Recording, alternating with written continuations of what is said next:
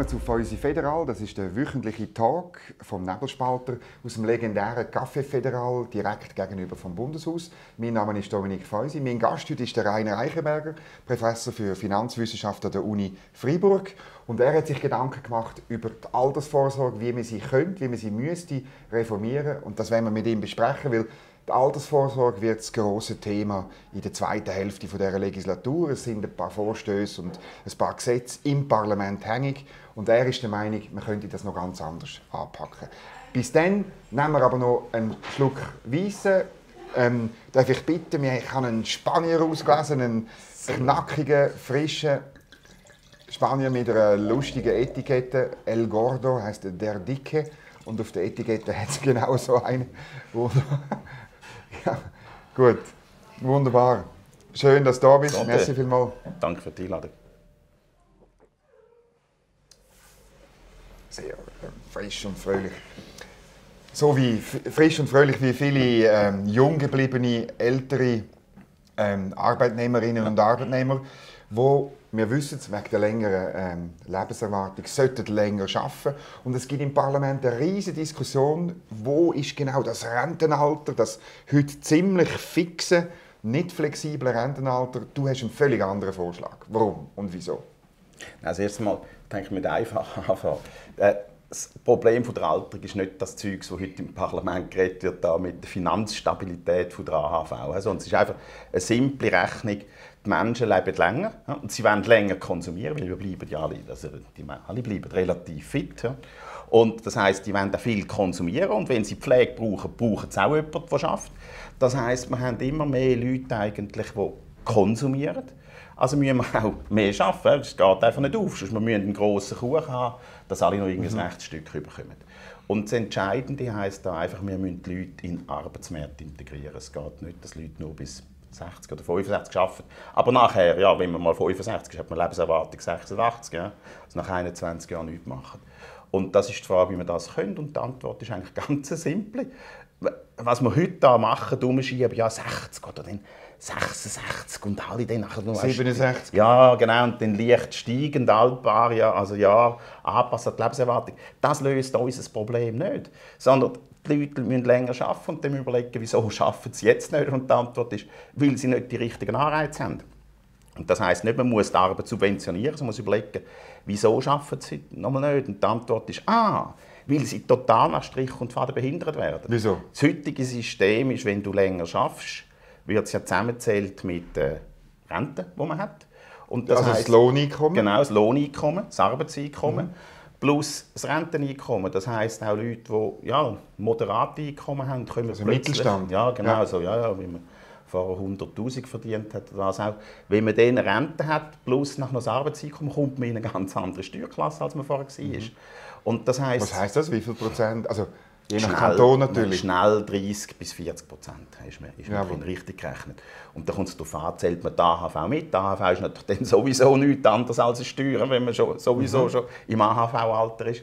Also von dem her ist einfach die Steuerbelastung enorm. Und das Zweite, und das ist ganz wichtig, das unterschätzt man völlig, Alte reagieren viel stärker auf die Steuern. Das sagen sie natürlich alle nicht, wenn man sie so plump mhm. fragt. Aber der Witz ist, ein Alter, ein Rentner oder jemand im Rentenalter hat sehr gute Alternativen zum Arbeiten. Wenn er findet, das wird ihm zu viel weggenommen, dann sagt er, ja gut, dann bin ich Rentner. Rentner ist sehr nah gesehen. Also ich habe keine Lust mehr. Genau. Ich will nicht mehr 100'000 verdienen, genau. wenn ich 50 davon ja. muss abliefern Hingegen ein junger Mann kann wegen der Steuern nicht einfach sagen, ich höre auf zu arbeiten. Das ist ein sozialer Druck. Weil er keine Rente hat. Genau, und weil er keine Rente hat. Das heisst einfach, Darum, darum, reagieren die Eltern sehr viel stärker. Und da muss man schauen, dass man die Steuern abbringt. Und das Zweite ist natürlich nachher irgendwie eine Flexibilisierung hat bei der Rente, dass es Lust macht, zum Renten aufschieben, ist ein zweiter Aspekt. Heute macht es keine Lust, die Renten aufzuschieben. Wenn du die Renten aufschiebst, das heutige Modell gibt versicherungsmathematisch eigentlich nach einem richtigen also wenn du schaffst und die Renten aufschiebst, kommst du nach einem Zuschlag über auf die Rente später. Genau. Aber das ist wahnsinnig unattraktiv, weil bis du Break-Even bist, also bis du das Geld, das du nicht hast, weil du die Renten aufschiebst, schon nur das wieder reinholst, musst du 86 werden. Mhm. Weil die Rente ist noch eben, zuerst hast du zwei Jahre ich du schiebst gar keine Rente. Und nachher hast du eine leicht höhere Rente. Und das braucht halt die normale Lebenserwartung mit 65 und das ist 86, bis man Break-Even ist. Die, die älter werden als die normale Lebenserwartung, die profitieren vom Rentenaufschub. Mhm. Die anderen, und das weisst nicht. Ja. Und das weisst nicht. Ja, erstens du das nicht und zweitens ist einfach, mein, das, es, wenn, man, wenn man jungen Leuten sagt, schafft jetzt doch einmal, den Lohn kommen wir in 20 Jahren über, dann sagt jeder, haben mal. Ja. Mhm. Hingegen den Rentner sagen wir das, schafft jetzt doch mal länger und dann kommen wir nachher den, äh, den Lohn kommen wir ab 86 über. Ein total lächerliches Modell. Mhm. Sondern die Lösung, und die Lösung ist furchtbar einfach. Die Leute, die sagen, ich will die erst später Rente, also Rentenaufschub machen, denen musst du doch sofort irgendeinen Nachlass geben. Und das Einfachste ist, wenn jemand so mit 55 oder vorher oder ein nachher sagt, ja, ich will die erst mit 67 Rente. Dann sagst du, ah, in dem Fall haben sie jetzt schon ab dem 55 einen Nachlass auf den Beitragssätze. Zu mhm. Dann wird es sofort attraktiv aufzuschieben. Mhm. Also sofort Gratifikation. Nicht erst, wenn jetzt eben einer sagt, ja, ich schiebe auf mit 55, also ich komme erst mit 86 in den Lohn über. Das ist mhm. unmachbar. Aber es muss ja dann schon die Rechnung... Also, Alles versicherungsmathematisch richtig rechnen, klar. Oder weil die AHV macht heute, ähm, wenn man rein das Umlageverfahren nimmt, eine Milliarde Verlust ja. im Monat, oder? Es wird noch quersubventioniert ja, genau. durch Steuern. Ähm, es, es, muss am Schluss müssen wir schon auch das Ding stabilisieren. Wie genau. wir das denn schaffen? Genau. Jetzt muss man immer aufpassen. Das eine ist, was ich bis jetzt gesagt habe, ist ja mal einfach äh, finanzmäßig auf den ersten Blick neutral. Mhm. Es ist aber natürlich finanzmäßig nicht neutral, das sieht man aber nicht, weil im Hintergrund ja stattfindet, die Leute arbeiten länger. Das heißt, unser grundsätzliches gesellschaftliche Problem, mehr Konsum, weil wir älter werden, nicht mehr Arbeit, mhm. wird gelöst, weil die Leute mehr arbeiten. Und das muss ich jetzt hier nicht erklären. Das wird nachher durch viele verschiedene Überwälzungsprozesse in den Arbeitsmärkten auf die Löhne und dann auf die Produktpreise überwälzt. Einfach am Schluss muss man sagen, je mehr Leute arbeiten, desto größer wird der Kuchen, den wir zu teilen haben, bleibt für alle mehr übrig. Das ist der eine Aspekt. Der zweite Aspekt ist, wenn die Leute länger arbeiten, zahlen sie ja nicht nur mehr in die AHV und in die Rente ein sondern sie zahlen auch mehr Steuern. Und heute, mhm. bis jetzt, bei allen bisherigen Reformen, die wir hatten, hat der Staat einfach das Geld eingesteckt. Ich meine, die ganze Frauenrentenalter von 62 auf 64, da ist ein kleiner Teil von dem, was die Frauen zusätzlich geleistet haben, ist in die Rente gerechnet worden. Also das, mhm. die AHV-Beiträge. Aber die zusätzlichen Steuern, die sie gezahlt haben, ist alles zum Staat gegangen, hat die Staatsquote mhm. erhöht. Und darum ist immer eben eine vernünftige Rentenreform aus meiner Sicht ist dreiteilig. Das erste ist ein Aufschubmodell, das sofort Gratifikation gibt, eben tiefere Beitragssätze. Das zweite, wer nachher immer noch länger schafft, der sollte noch tiefere Arbeitseinkommenssteuern haben, Einkommenssteuer. Und das dritte ist das Geld, das dann zusätzlich kommt zum Staat. Das muss nicht beim Staat bleiben für allgemeine Staatsausgaben sondern das muss in, in die AHV, fließen. Mhm. Ja. Aber jetzt äh, sehe ich sofort, da kommt äh, der Einwand, ja, was ist denn mit denen, die das nicht können oder nicht wollen? Ähm, die, die, die gehen ja dann leer aus, Nein. die profitieren von dem System nicht. Nein, genau. Jetzt muss, muss man es so wieder strikt vergleichen. Mit der Alternative wäre eine Rentenaltererhöhung allgemein. Für alle, ja. Da können die, die nicht länger arbeiten können, angeblich oder wirklich, die leiden massiv. He? Denen wird einfach die Rente gekürzt. Die müssen nachher, die haben nachher das Referenzalter 67 oder mhm. was, durchheben oder krank werden, aber die leiden wirklich. Weil das ist ein Zwangsmodell. Wenn man das Referenzalter aufschiebt, dann sind die, die bisher mit 63 haben müssen aufhören und wenn das Referenzalter neu 67 wird, die leiden einfach. Also das ist, zum Erklären, das ist auch das Modell von der Renteninitiative genau, das ist alles von der Jungfreisinnigen, ja, oder? Alle die, die generell darüber nachdenken, wie kann man das Rentenalter erhöhen, bis jetzt wird immer irgendwie das Referenzalter, irgendein Zwang eingeführt. Hingegen bei dem Modell, das ich jetzt charakterisiert habe, ist alles problemlos freiwillig. Ich meine, die, die bisher gleich viel arbeiten wie bisher, die haben keinerlei zuerst mal einen Nachteil. Sie machen einfach so weiter wie bisher. Es ist ja nur eine Steuersenkung für die, die länger arbeiten. Für ja, die, die so arbeiten wie bisher, keinerlei Impact zuerst. Aber nachher über all die Kreislaufeffekte, eben wenn die anderen oder viele andere länger arbeiten, mhm. durch das der Kuchen, gesellschaftliche Kuchen größer wird, mhm. bleiben für alle größere Stücke. Und das Finanzgegenstück, was passiert, eben ist, wenn die dann auch mehr arbeiten, mehr Steuern zahlen, durch das eben geht das in die AHV, die AHV wird stabilisiert und das nützt dann schlussendlich auch denen, die mhm. einfach so weiterarbeiten wie bisher. Weil es stabiler ist. Ja. Aber die haben, verstehe ich richtig, die haben keinen Vorteil, Doch, oder? die haben am Schluss den Vorteil, Aber- dass das System stabilisiert Gut, wird, ohne dass sie müssen länger arbeiten müssen. Die können weitermachen wie bisher. Ja. Die haben keinerlei Nachteile. Es ist wirklich, also ich vertrete das natürlich gerne schon bei anderen Vorschlägen. Das ist jetzt einer von diesen Vorschlägen, und ich wirklich überzeugt bin, es gibt niemanden, der verliert. Es ist Win, Win, Win. Es gewinnen alle. Aber ähm, das funktioniert ja nur, wenn du, also zum stabiler machen System, müssen ja die, die eben mehr, länger arbeiten und mehr Ja. einzahlen und so, du kannst denen ja nicht alles als Vorteil und Anreiz geben. Du musst ja auch noch das Loch stopfen. Nein, die arbeiten eben länger. Der Witz ist, es wird ja mehr geschafft. Es Wegen der entsteht Steuereinnahmen sozusagen. Ja, es entsteht mehr Arbeit. Und auch wenn die nur halb so viel Steuern zahlen wie vorher, also für die wird Arbeiten über 65 wird wahnsinnig attraktiv. Und durch das werden die Firmen natürlich schnell Modelle entwickeln für Leute, die länger arbeiten wollen. Sie werden es müssen, weil es nachgefragt wird. Ja, sie werden es müssen, wenn nachgefragt wird, aber auch es wird super attraktiv. Dann kannst du den älteren Leuten sagen, komm, ihr könnt bei uns, wir geben euch äh, 10% Reduktion von der Arbeitslast, ein bisschen Flexibilität, wir etwas wie Joker-Tage. werden- Und wir tun euch ein Bier ein bisschen weniger zahlen, oder sogar 10% weniger zahlen. Ist extrem attraktiv für die Alten, weil dank dieser Steuerentlastung, die sie haben, auf der Ar- Arbeitssteuer, ist, haben sie netto mehr, als sie vorher hatten, mit mehr Arbeit. Und, aber sie zahlen zusätzlich Steuern. Es kommt nicht, der Staat kommt nicht weniger rüber, es kommt mehr zum Staat oder eben dann, wenn es der Staat weitergibt, in die AHV zur AHV. Das heißt, durch die mehr Arbeit einerseits für die Gesellschaft real entlastet, der Kuchen wird größer und eben das Finanzspiegelbild ist, sie zahlen zusätzlich Abgaben zusätzlich. Das heißt, es ist Win-Win-Win. Wenn ich jetzt ein bisschen politökonomisch denke, oder vom Parlament her, habe ich halt wirklich den Eindruck, weißt du, das ist so ein, ein wahnsinniges Schlachtfeld, das von dieser Rentenalter und die Ja. Debatte über jetzt 67 oder so, und zwar für beide Seiten. Rechts macht man das zu, zu unbedingt, das müssen wir jetzt er erzielen und wir müssen siegen. Und links ist klar, da gehört es zum, zu ihrer Marke, dass sie da dagegen sind. Ja, das. Referendum ist schon angekündigt und, und eine Initiative und so weiter. Mhm. Und äh, es, es will halt niemand die... Du, du, würdest ja die Schlacht umgehen oder unnötig machen. Genau. Ich meine, Also, jetzt kann man immer sagen, das Tolle an dem Modell ist ja auch, es ist problemlos kombinierbar mit einer Rentenaltererhöhung. Jetzt nochmal eine normale Rentenaltererhöhung, wie es allen vorschreibt, entweder jetzt mal eine 65 für Mann und Frau, dann Das ist das, irgendwie, jetzt im genau, Moment drin und dann ist, genau. 66 oder 67 für alle. In einem zweiten Plus Schritt. nachher stufenweise Erhöhung, wenn die Lebensalter steigen, die Lebenserwartungen. Das löst alle das Problem nicht, dass die Leute nachher nicht länger arbeiten als die offizielle Arbeitszeit. Und man kommt der Erhöhung von der Lebenserwartung kommt man praktisch nicht nach. Man muss sehen, wie schnell die geht. Das ist heute auch noch. Pro sieben Jahre ist das ein Jahr. Also da muss man... so alle sieben Jahre steigt die Lebenserwartung Ja, um ein Jahr. Jahr bei Geburt.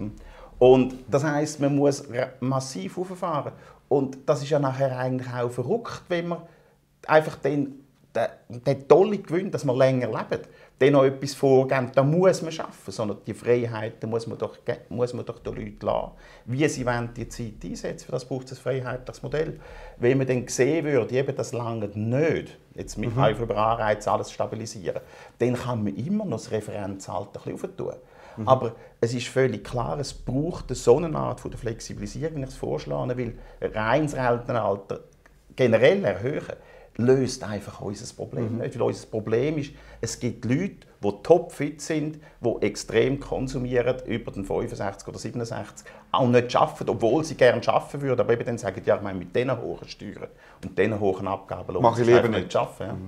Wie sieht es aus? Gleichzeitig läuft ja eine Revision von der beruflichen Vorsorge.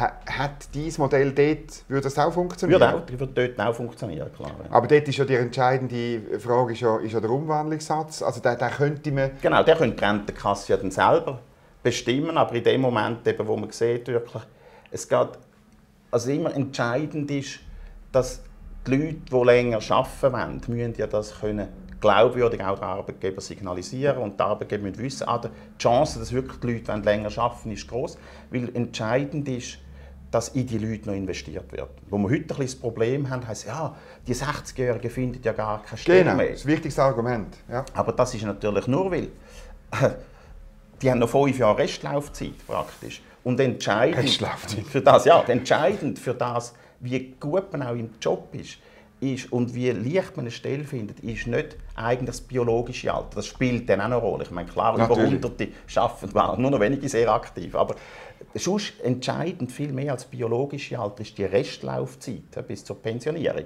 Stellen wir uns vor, es kommt ein 30-Jähriger, äh, bewirbt sich an eine Stelle, wird eingeladen und dann sagt er, sagt er zum Arbeitgeber, ja, ganz gleich, ob du mein absoluter Traumarbeitgeber bist und auch ganz gleich, ob ich dein absoluter Traummitarbeiter bin. Ich gehe sowieso spätestens in fünf Jahren.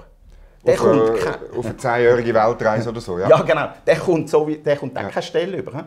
Das zeigt einfach, die Restlaufzeit ist entscheidend. Und genau mit dem Jetzt mit dieser verrückten Aussage treten im Prinzip 60-jährige Arbeitssucher. Oder müssen sie heute? Ja, müssen sie zum ja. Arbeitgeber das sagen. Und der Arbeitgeber weiss, ich meine, es ist sowieso im Erwartungswert nicht fünf Jahre, sondern es ist drei Jahre, weil viele neu irgendwie aus einem Grund nachher doch noch früher pensioniert werden. Also, und vielleicht doch noch mal den Job wechseln und sich selbstständig machen vor der Pensionierung, weil sie irgendwie ihre Chancen nutzen. Das heißt die, die Leute haben ein riesiges Problem heutzutage. Mhm. Und darum muss man auch flexibilisieren, dass die Arbeitgeber wissen. Aber es ist ein Problem, das der Staat verursacht, ja, nicht die Wirtschaft verursacht? Nein, nicht, nicht ja. ja. genau. Ja. Und in dem Moment, aber wenn das offen ist, eben vor allem auch von der AHV her, dann sind all diese Signale viel glaubwürdiger. Und durch das eben, nachher vor allem mit dem Steuermodell, dann wissen die Unternehmen, ja, jetzt lohnt es sich für die Alten weiterzuarbeiten. Und da wollen viele weiterarbeiten. Mhm. Und das heißt, es lohnt sich sofort für die Firmen, eben Modelle zu entwickeln. Weiterbildung von Alten ist eine andere als Weiterbildung von Jungen. Mhm. Denn wie hält man Alte im Job? Ich denke schon, ein bisschen mehr Freiheiten geben. Die wollen vielleicht eben auch mal auf den Denkel schauen oder schon etwas. Wie, also vielleicht in der Hierarchie auch eine andere Position? Ja, genau. In einem Stab oder ja, in einem Projekt genau, oder genau. so? Und es lohnt sich ja nochmal, die umzupolen. Ich meine auch sogar die Leute, die sagen, ja, die sind ausgelutscht mit, mit 60 und so körperlich. Das ist natürlich nur, also erstens, können wir darüber reden, wir haben dazu eine Studie gemacht, eine interessante. Aber erstens stimmt es häufig nicht und zweitens, dort, wo es stimmt, hätte man natürlich müssen mit 55 oder 50 schauen, kann man die Leute nicht anders einsetzen. Mhm. Weil wenn man weiß als Unternehmen, ja, die können wir noch länger nutzen, über 60 aus, dann lohnt es sich auch, die anders einzusetzen, um Modelle zu entwickeln, wie man die Leute mhm. kann sinnvoll einsetzen kann. Mhm. Weil man weiß, die gehen sowieso, das sind Bauarbeiter, die wir untersucht haben, was bewirkt, wenn man das Pensionierungsalter wie bei den Bauarbeitern von 65 auf 60 senkt. Mhm. Da sieht man etwas Dramatisches und das ist, dass die Leute zwischen 55 und 60, die werden kränker.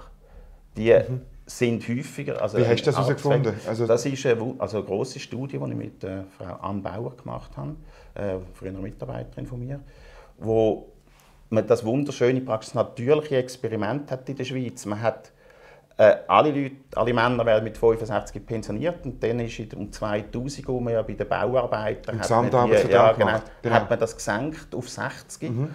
in Stufen äh, relativ schnell und da kann man wunderbar vergleichen, also es ist praktisch ein natürliches Experiment. Mhm. Da kann man vergleichen Bauarbeiter mit gleich qualifizierten Leuten in anderen Branchen mhm. oder mit ähnlich wie möglich Qualifizierte. Und man kann Bauarbeiter, die es besonders trifft, also Leute, die Pensionierung besonders trifft, mit 55 bis 60, wo die Pensionierung näher ist, vergleichen mit jungen Bauarbeitern. Wie verändert sich denn ihr Krankheitsbild, denn ihre Arbeitsfähigkeit verglichen mit anderen Bauarbeitern und verglichen mit äh, Nicht-Bauarbeitern.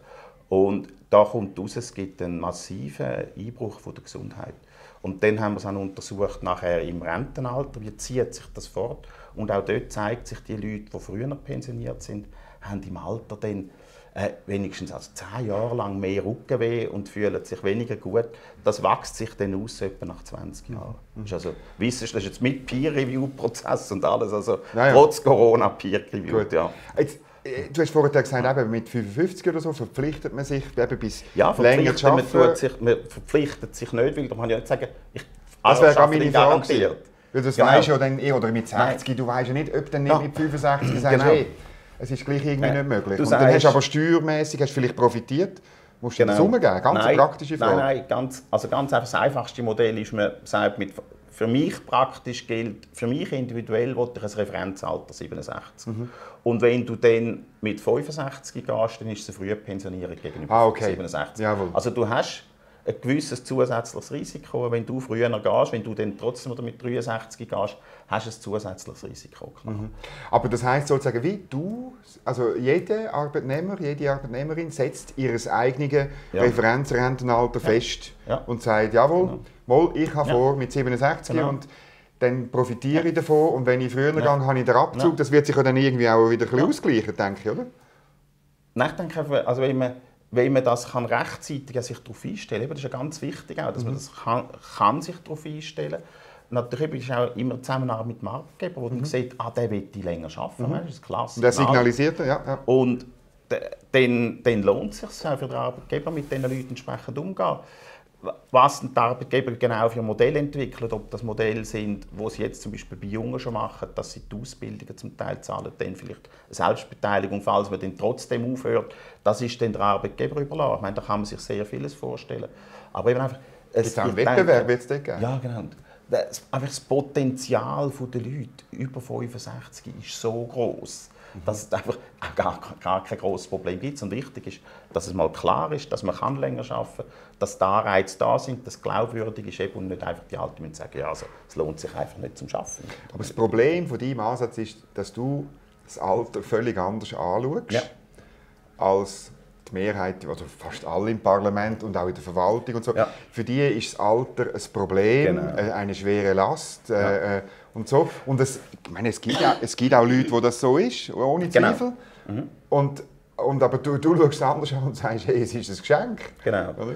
Und ich denke, wo, das, wo, wo tust du das aufsetzen? Was sind Nein, genau, Zahlen ist, und Fakten und Erkenntnisse? Das ist mal das Entscheidende, also das völlig unterschiedliche Bild vom Alter. Und das, das Zweite ist eben, das ist viel für den, ich will nicht sagen für den normalen Parlamentarier, aber im Prinzip, dass eben der Finanzschleier, den wir anschauen. 20 Jahre haben wir nur über ja, so geredet, genau. weißt, es ist auch Das versteht Stabilität nachher vom AHV-System, gleichzeitig von der Pensionskasse.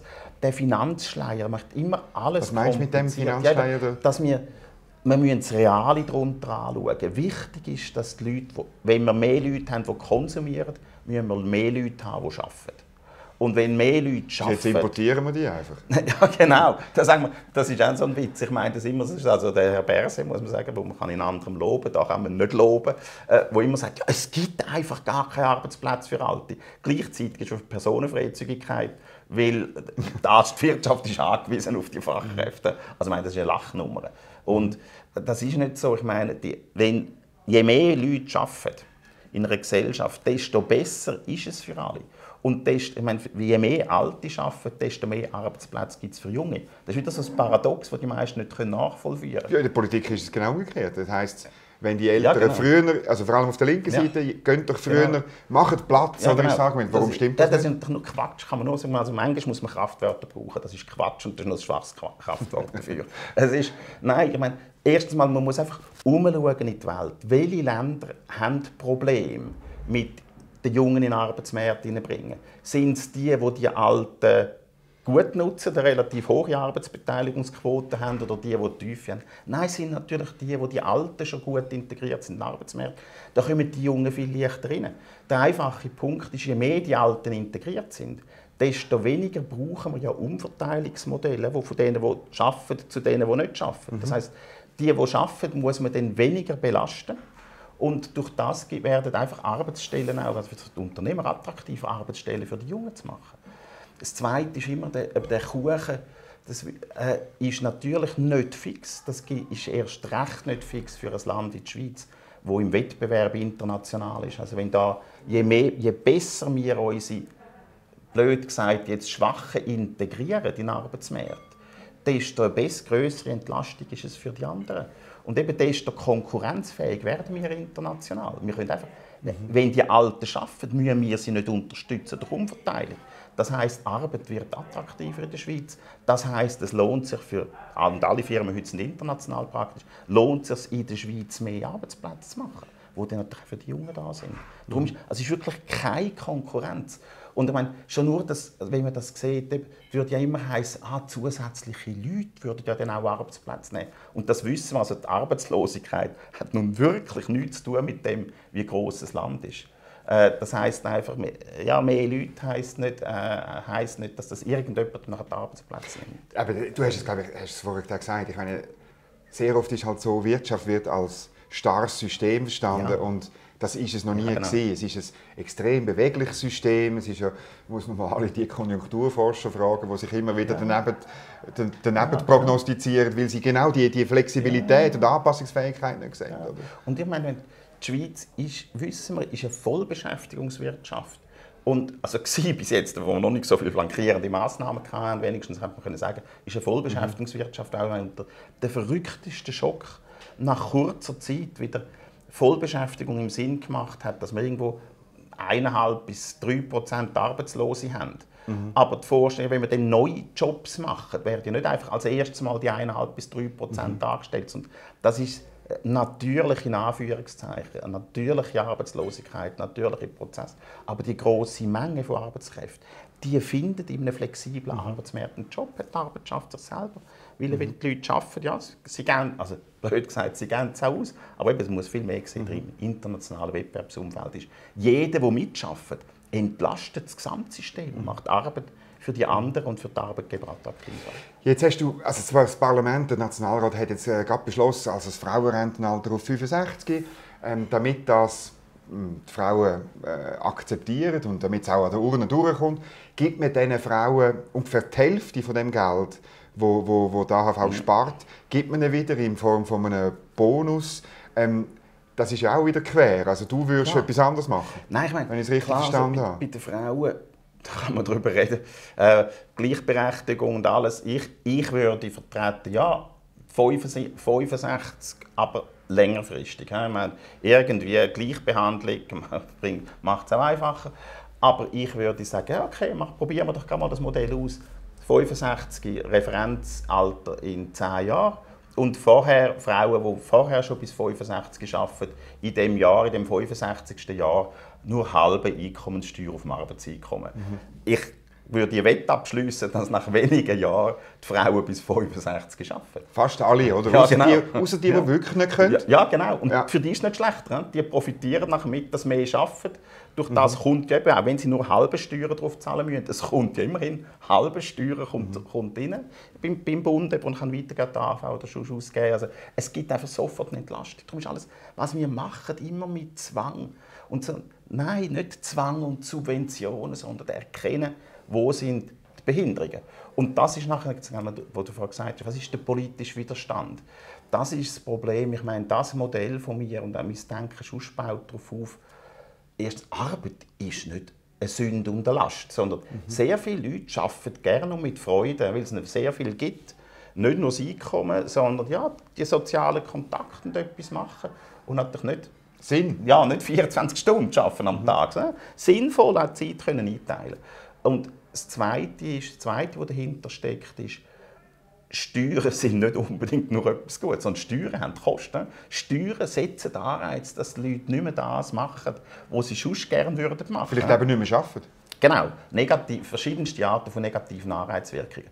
Und äh, da muss man leider konstatieren, es gibt Politiker in der Schweiz, die durchs Leben gehen und durch Politik mit zwei einfach, also mit enormen religiösen Vorstellungen über erstens Steuern sind etwas Gutes, ausschließlich Gutes, und zweitens die eigentliche Schaffen, Sünde und Last.